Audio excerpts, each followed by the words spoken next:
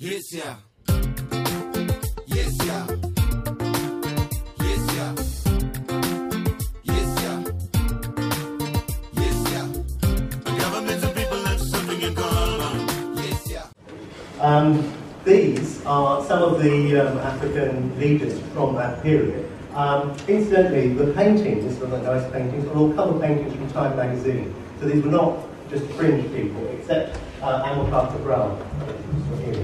Um, Patrice Lumumba was the um, independence leader of the Congo. He was uh, someone who, when the King of Belgium came to the Congo's independence celebrations uh, to say how he was handing over the baton to Patrice as um, after Belgium had done so much to civilise the country, Lumumba actually stood up at the thing and said this was rubbish um, that uh, Belgium had been a disaster for Congo. Uh, he was later killed by a combination of the, uh, the Belgians, the Americans, and the UN and various other bad people. On the other hand, we have, here we have um, Kwame Nkrumah, who was the independence leader of Ghana. He was someone who um, led um, a mass struggle that got Ghana to be the, the um, first country to be uh, granted independence from the, from the British Empire. We have um, Julius Nyerere, who was the leader of uh, Tanzania, who developed ideas of, uh, of African socialism. Um, and here, he never made the cover of Time, as far as I know, is Cabral, who was a revolutionary guerrilla leader and theoretician in, in Guinea-Bissau. And I could, uh, could go on and mention other people like uh, Jomo Kenyatta or a more radical diplomat in Kenya, Bildad Kaggia. It could mention Samora Machel or even later figures like Robert Mugabe, um, who was seen as a, a revolutionary leader in his time. Now, in, all cases, you can have enormous criticisms of these people. I think they all made mistakes, and very few of them uh, achieved what they were setting out to achieve.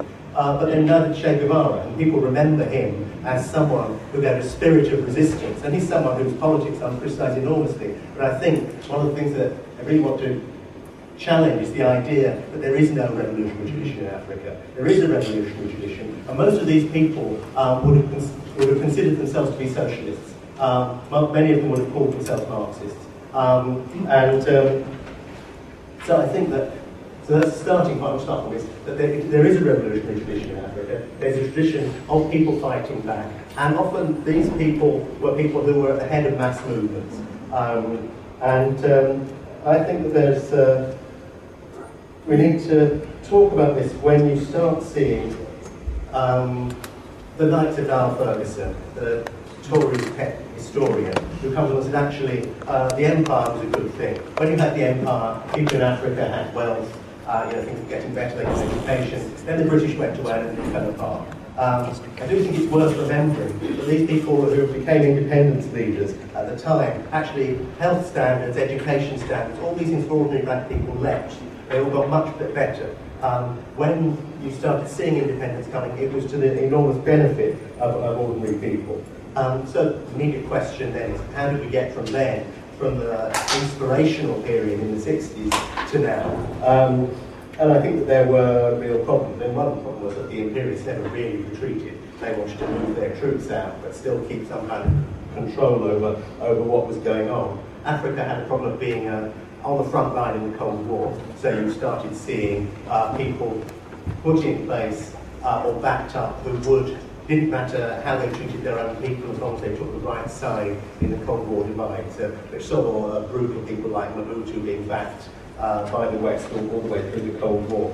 Um, as some of them are still primarily uh, used by the world economy for producing um, raw materials, uh, the slump in the 1970s enormously damaged African countries.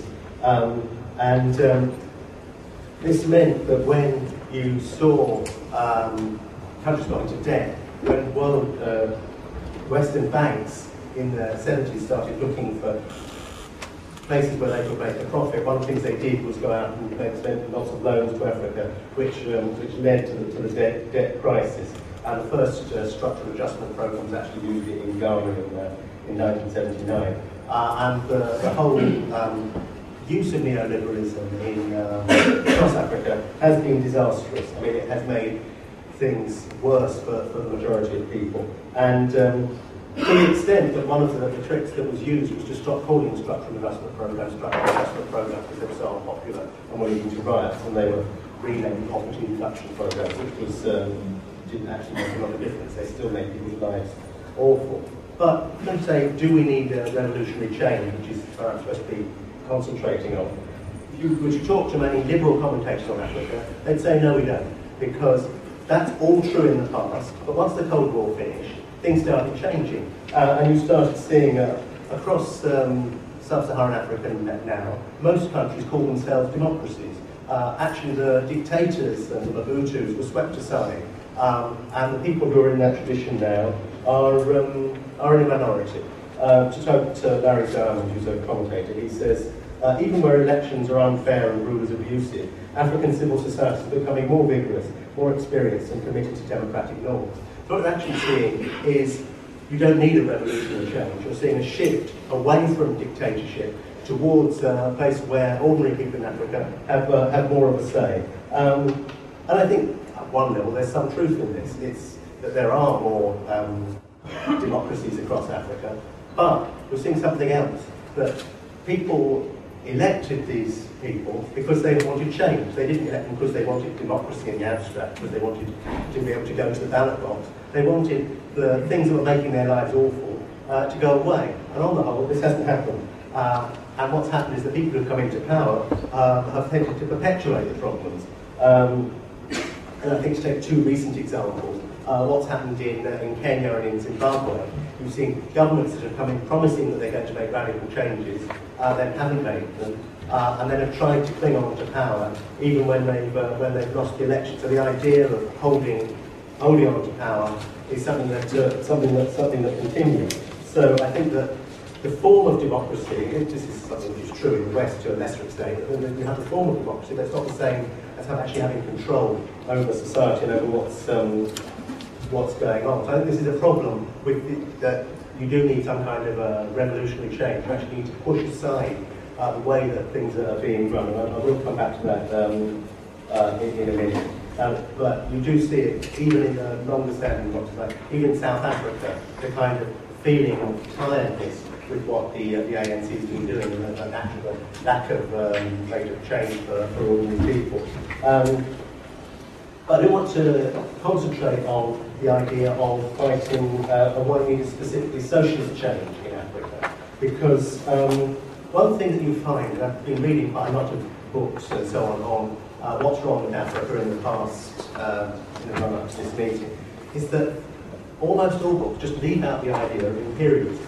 People often start, and a good program on, good program on Radio 4 recently, that talked about Congo, and it started from Leopold in the 19th century, and how evil he was, uh, and how that was a, a bad legacy. But from the way that they did the report, you would not believe that imperialism had existed since then. And the way that people talk now is it's always that the problems that Africa has are down to bad governance or they have no traditions of being efficient or sorts of things. Nothing is to do with the fact that the um, imperial legacy is still there. And it's not just something, as people identify um, imperialism with, um, with colonialism, so it all finished when the colonial empires uh, went away. And I think um, this has been one of the, uh, the difficulties that a lot of African socialists have had. And it's partly, um, I haven't got time to go in depth into the, what the different uh, people believe when they talk about African socialism. People may want to bring up particular regimes in the discussion, but um, most of them had a, an idea that came from the Stalinist or Maoist tradition of what it is that you actually mean by socialism. And what it meant largely was taking control of the state um, and then using the state uh, to create a better conditions for the ordinary people and the peasantry um, uh, inside that country. Um, and when they failed to do that, it so that, well, that's the end of socialism.